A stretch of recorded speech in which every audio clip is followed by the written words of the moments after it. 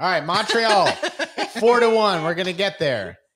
What happened here? So, oh man, we got uh two Atlanta goals out of the gates, right? We got one from Silva, Silva uh, from uh, a pass from Saba. Yet again, there's another one where there's no uh, offside technology. I thought maybe that one was offside. What did you think? First goal offside in that game? Um, I think it kind of was. You want to show know. it? Let's see. I'm I'll hoping. try to find my I'm notes. All I'm saying this is, isn't I hope this this really aligns really well with your conspiracy theory because like I hope a computer's making this call because I my eyes certainly aren't good enough. I got to take these glasses on and off, and uh, yeah, you know, it's uh, again there's the cross. Sure looked like it was close. I think obviously it went across the line, but we don't have goal line technology either, Dave. Yet again, so I think I think you know, assuming he's on side, right? This is definitely a goal across the line, in my opinion. But ah, it's just it's Can a- you show the clip one more it's, time? it's coming. I think this Alright. is the angle right here. Boom, and then they pause it. I just Yeah, they they do. Yeah, they they pause it there, and then, but oof. One thing I'll say is just like the last goal that we thought was offside or maybe offside, right? Both of them are really early good balls from Saba. He doesn't wait, and that's the difference between him and Mosquera. Mosquera doesn't make that. and the ball a difference between. Lennon. Lennon can't cross that ball. Yeah, maybe. Yeah, Lennon, Lennon doesn't have that in his He's bag. classier about thinking about it early. Yes. He's faster thinking. I agree. I agree. And actually, Lennon is probably capable of serving a better ball, but it doesn't matter when you have that quick thinking, yeah, right? Because you just put it out in front. It's the thinking part that Saba has that Mhm. I, I think is just it, at some point you either you, you don't have that. so in we your- scored that one is in the 30th minute or whatever. Um, in the 16th minute, right?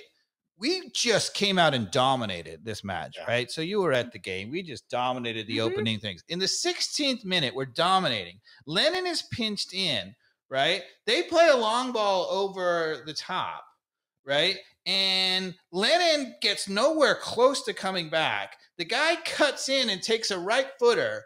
And I mean, it went over the cross by, crossbar by about six inches. They, up until that moment, had had nothing. It was 15 minutes of one way traffic. And yet, the first goal almost very close. The best, the closest to coming to scoring was Montreal first, and their only chance up the field.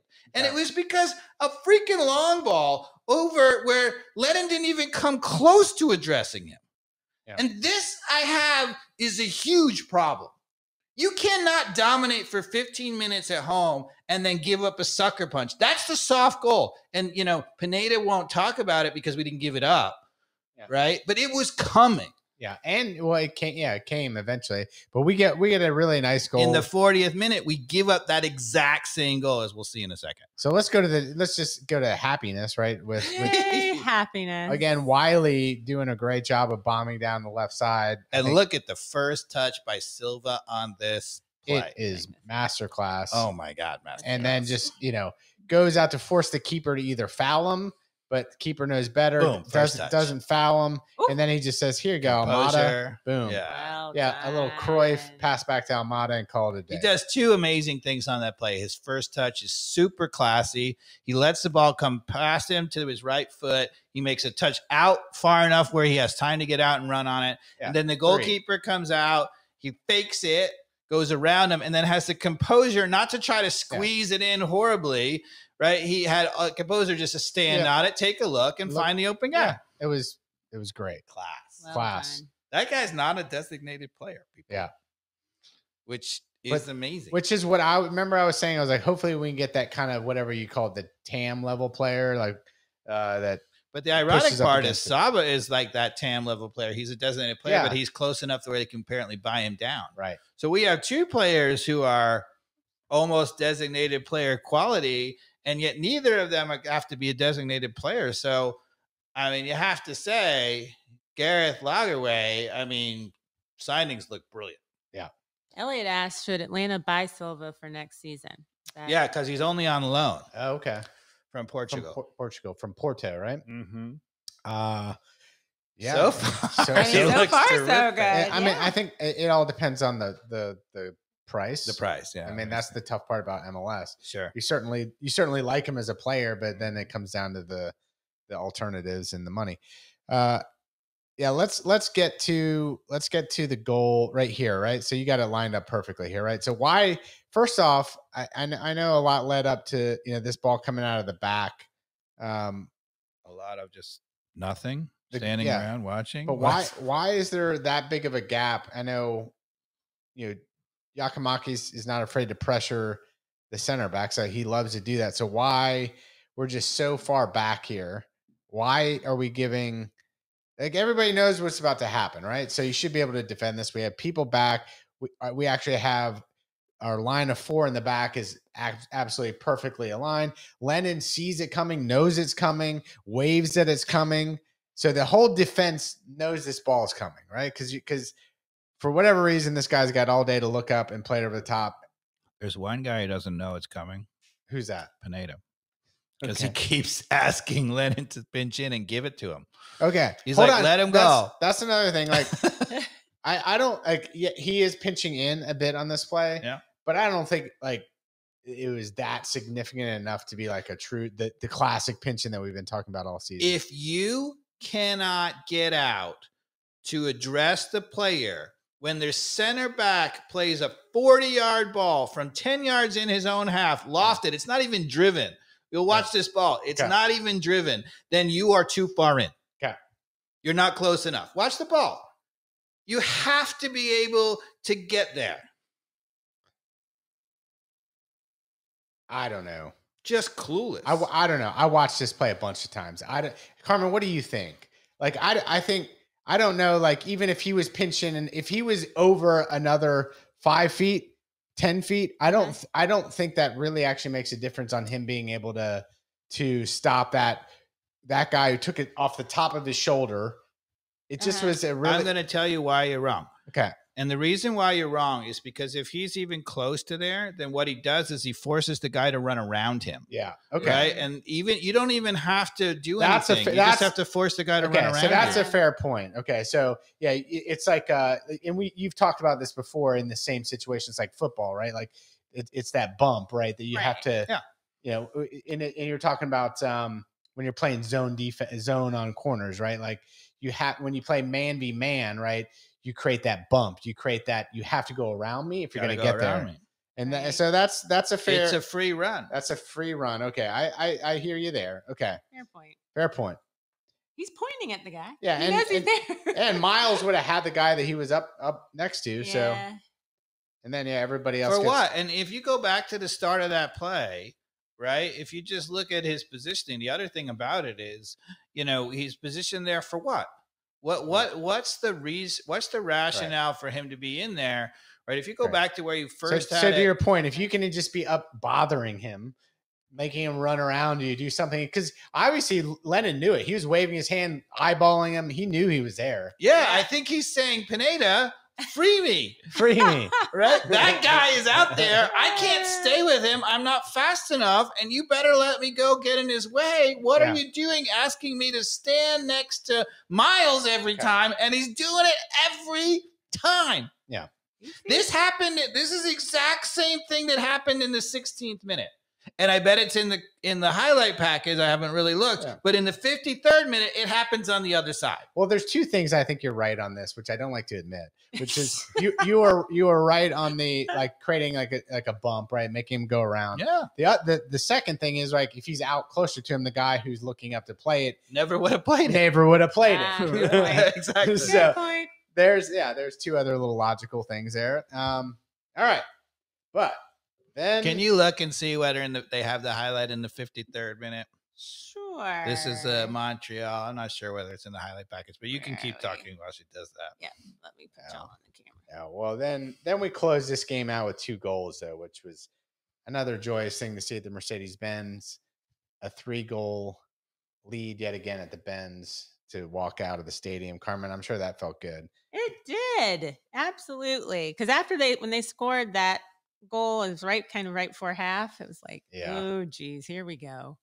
So yeah, The 53rd minute is the one where they hit the post off the header. Oh yeah, that was when uh, Miles Robinson. Yeah, so that's another one where the the the, the winger had all day to cross it. Right, I think it is in the highlights. It's in here somewhere. There it is, Is right it? there. Yeah. So if you back up a Back hair, up a hair. you'll see the guy who uh, has all day to cross it here. And again, that's a that's that's the problem. Like you said, in this league, right? If In you any league. in any league at this level, yeah. if if you've gotten a guy out wide Look like this him. with no pressure, he looks up and can play it And Even if you're Miles Robinson there, like you're trying to you know Yeah. defend it, like that guy's a bigger guy than Miles, Miles. like, is like all over him. He's all and this is him, what you're so frustrated about as a center back. You're like, why are you giving him all day to pick out this guy? I'm all over him, and I still can't prevent that. Yeah. Because it's a perfect ball. Right, it's a perfect ball to go attack. The goalkeeper can't get Yeah. there. The defender can't do anything, and there's nothing you can do about that. He's about as in as good a defensive position as you Yeah. possibly could, and they should have scored. Yeah, that's a great uh, part of this highlight to go back to. I was thinking the same thing when I saw that. I was like, why does that guy have all day to just basically look down at the ball? He's like, is it on the right part of the right part of the grass? Okay, And now I'm gonna look up and pick up my huge striker in the middle of the field and put it right in his head. And Miles can't do anything about that. But then we get uh, another nice goal. Um, I think this one was a gift to George Giakoumakis for his 14th goal. I think he's now tied for 14, or did anybody else get more goals than him? I got maybe we'll, Tied, maybe we'll tied for the up. lead. So Mukhtar and he are tied at 14. Mukhtar, he and and um, Costa or who? uh, yeah, else? Luciano Costa. right? Yeah, look at that. I see. I said I didn't do any research, but I guess I I have must to say, you're on top of it, man. Uh, but yeah, what a what a, I mean, this is why Gigi's such a snake, and I love him. and uh, yeah, the I, I do think it did come off the defender last. day. what did you think? Yes, Yeah, I think clear. I think Silva may have gotten a tap on it, but then the defender actually drug his leg for, Yep. forward, and it ended up passing it to Gigi, and Right. So goalkeeper plays it out to the defender. Silva Silva taps goes it. pressures him, and then he just kicks the ball Yeah. back. Yeah, And it looked like, oh, maybe Silva poked it, but in the replay, he didn't poke it. That was a defender who passed it. Now Yeah. he was stumbling slightly because of Silva. I don't think it's a foul. It would have been No. the softest No foul ever. No way. So to me, I think it's a goal Yeah, because it's a pass foot, back. Silva's foot comes right on the side of his foot, and it may have like brushed the ball, but then that guy just drags his leg through it. And, And what a passes classy back. finish. What a it was finish! so nice. Goalkeeper's out. I'll just bend it over you. A lot of people would have put that over the top. Yep, And I mean, that is- It's that one was- touch, by that the is way. that is way harder than it looks. Yeah, Right? It's one touch. He didn't even get a chance to. You know, most people take an extra touch, right? He just Yeah. lets it come across him. Watch, watch this play, right? There's no more of that. They but let it come across him, so and nice. yeah. And I have to apologize, Quinn. It was literally right after halftime, and I was coming back from eating, and I was talking to Ah. Quentin, and we missed it. So I- I really enjoyed the last goal in this. Um, Yep. Again, I, I think this shows some of the IQ Wolf has. what a freaking ball from Wolf! Right? Oh my God! What- This is a sensational Yeah. pass. Sensational pass to release it out wide. Yeah, it's a little bit, little further back than Back. this. Yeah, back, back. Um, No, it's the 90th minute. Yeah, so there was a red card there, but yeah, this is good. You can probably let it run Let from it here. run from here. but yeah, W- Wolf picks this ball up, uh, you know, on the far side of the field that he's on on the left side, and looks up and doesn't hesitate, right, Dave, and just plays a crisp ball all the way to the other side of the field. By the, by the way, I do think that was a red card. Now that we're on this, what was your take? Regardless, he was going to get sent off, but here it Here's is. the ball. Boom! Look at that. Look at that ball. That's lovely. yeah, and then Mosquera does. Mosquera does a nice job of saying, "Hey, let me lay it off to Almada." And Almada, instead of doing a Lennon cross there, does the IQ. Thing, Here's the cuts it back. question: If that's Barry, does he make that run? Uh, and the last thing I want to say is, don't take your shirt off, man. yeah, What But he did didn't get. shirt A, he didn't get a card though. He didn't. no, I what? did, it's not supposed to be automatic. are you? Are we sure about that? I'm pretty Really? sure. Go to the, go to the, the, the things that is certainly on TV. They never showed it. They described it. I had the same observation. I'm like, is this just inconsistency of MLS? Is it because Yes. it was the end Yes. and the guy was like I trying to think- get out? Well, first of all, was because he had the thing underneath it, he wasn't like naked. Yeah, but go if you go Well, back to the box than a score. man So, so click on our match. It our match. No, No, you, it's one. easier to go back. Go back and just click on Atlanta. No, no, yeah. Okay, just click on Atlanta Right. and then and then go to that match, right? Montreal. Where were we? Yeah. and just see whether they're listed as anybody in cards. Just Yeah, a red card. Just a red card. There you go. What? I was thinking the same I thing told when I was watching it. I was like, they, did- Shambolic they never gave him a yellow card because it's when he th- be when he threw his shirt off, I was like, you idiot. Yeah, why? Right, Why don't pick up that? That was the first thing I was like, why pick I up a yellow card? Like these are useless agree. yellow cards. Like as a coach, As a I would coach, have you're this policy that would be ridiculous. Right. Like you're out the next game if you do I that. agree. I agree Uh, with you too. Yes. All right, so and we, we we showed the clip. So the 88th minute, right? So the new player, Tia- Thiaré, Yeah. right? So he's super fast, I guess, or at least he was on that one play. he runs back and he draws the last man back foul, right? So it was a red card for denial of a clear goal scoring chance. And we don't need to talk about whether it was actually that. But what was the interesting thing on the on the on the broadcast?